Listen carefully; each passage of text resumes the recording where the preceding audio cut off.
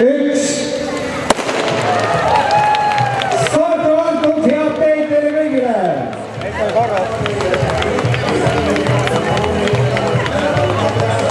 muuhulgas siis ka koha, kus saab ennast juba järgmiseks aastaks SEB Tallinna maratoni üritustele kirja panna jah, võib-olla ka selliseid võrdlevaid näiteid, et kui inimene reipa kõnnakuga liigub, siis läbib ta tunnis kusagil kuus kilomeetrit, nii et see aeg kaks ja pool tundi on enam kui piisav kümne kilomeetri distantsiga. Väga rahulikuks võiks isegi öelda läbi jalutamiseks. Ja, ja saab vahepeal vaadata